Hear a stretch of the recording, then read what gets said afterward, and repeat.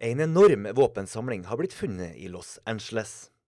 Pistols, rifles, shotguns, assault weapons, all types of calibers, all types of makes, all types of models. Over 1000 våpen ble funnet i et hus i et rolig område noen mil øst for storbyen. So many weapons in my career of 31 years. Such, such a big arsenal like kind of.